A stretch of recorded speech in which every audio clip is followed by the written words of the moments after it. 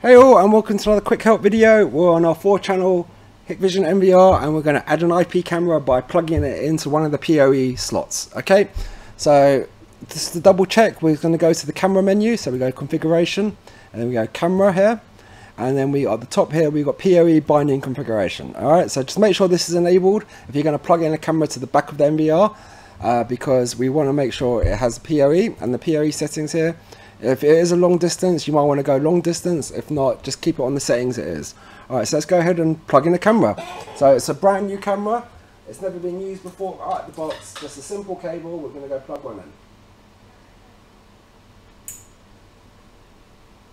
Okay, so I plugged it into port one of the NVR. I've done nothing special here. As you see now, oh, it's gone connected and it's using power, a little bit of power now. Not much as you see. Go to the live view, see what's happening. It hasn't added yet because the camera needs to boot up. Um, let's go to the camera menu here on the left. And as you see here, it's detecting right now. Okay, that's a good sign. It's just basically booting up the camera.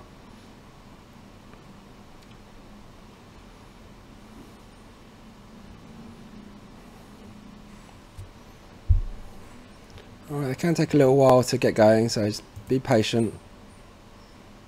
Especially some of the newer cameras, they are a bit slow. Alright, so let's go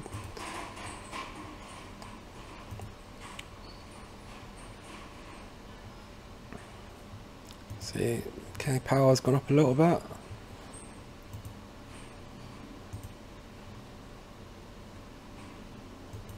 it can take a while guys, so just be patient.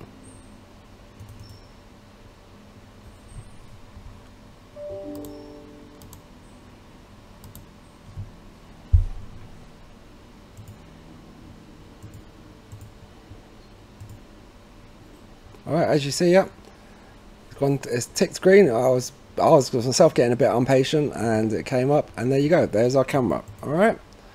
So um, nothing much to see there. It's just a camera we plugged in the office and now we're going to go ahead and add a camera via the network guys all right so check out this link coming up now or one below and I'll show you how to add camera that's on the network so as you see adding a normal camera really easy just literally got to plug it in so nothing special there. And, but thanks for watching, and I'll hopefully catch you another one, guys. Cheers. Bye bye.